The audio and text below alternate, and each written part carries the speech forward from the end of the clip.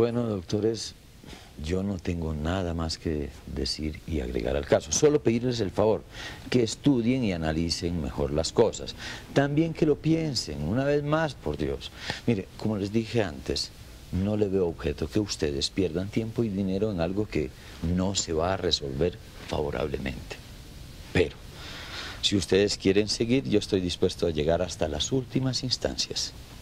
Nada, agradecemos mucho el, eh, mi socio y yo el consejo que nos da, pero no creo que lo vayamos a utilizar porque de todas maneras, más adelante tal vez, ¿no? Cuando, cuando nos enfrentemos a las inconsistencias, a las causas, a los efectos, tal y cual. y. Bien, doctor, como ustedes quieran, aquí están los teléfonos a los cuales me pueden llamar. Pues hasta de pronto le peguemos una llamadita, doctor. Para consultarle o porque no, de pronto le pueden pedir una asesoría. Es que estos dos sí fueron a la universidad, evidentemente, pero a tragar mogolla, porque de derecho no aprendieron nada. Bueno, en todo caso estoy a sus órdenes. Camine, mi doctora, solo acompaño a la puerta porque de pronto se pierde. Doctor, Que pero... vaya muy bien, estimado colega. Doctor. Que esté muy bien, doctor Rubio. Después de usted. Qué tarjeta personal tan bella, tan espectacular. A mí me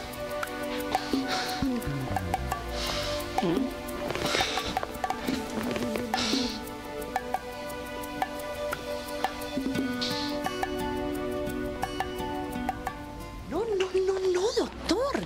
Esa sí fue una lección de jurisprudencia, la mancha la que usted le acaba de dar a esos dos. Eh, siga, su eminencia, siga. Gracias. Con decirle que me apasione tanto que de pronto, ¿por qué no? Me da por estudiar Derecho. Eh, cierto que yo me vería regia. Eh, eh, siga, magistrado. Siga, siga, Gracias. siga. Cierto que me vería divina en un estrado impartiendo justicia a diestra y siniestra.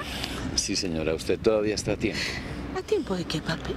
A tiempo de estudiar. Ah, sí, claro, claro, el estudio, pero antes de ponerme a estudiar y antes de ponerme a ejercer, me gustaría recibir como una ayudita extra de su parte. Una ayudita profesional que llaman. Mentiras, mi vikingo, mi nórdico. No me pare bolas. Eh, lo que pasa es que de pronto tendría un caso para consultarle y ya que su merced es el abogado Yadira, entonces haríamos moñona porque serían dos clientes de la misma familia, ¿no? Ay, como para que nos vayamos conociendo todos con todas. ¿Cómo le parece? ¿Cierto que la idea es divina? Eh, Permítame, doctor. Ay, mi muñeco, mi papi. Menos mal que llegó. Doña Nidia. Ahora sí se completó el plato, doctor. Mijito no tiene las orejitas calientes porque le cuento que hace un momentico estábamos hablando de su merced con los dos tinterillos. Y aquí, con el doctor Rubio, el abogado que contrató Yadirita. Lo relaciono. Enrique Bueno Lindo, eh, su eminencia, el doctor Rubio. Mucho gusto. ¿Cómo está, señor?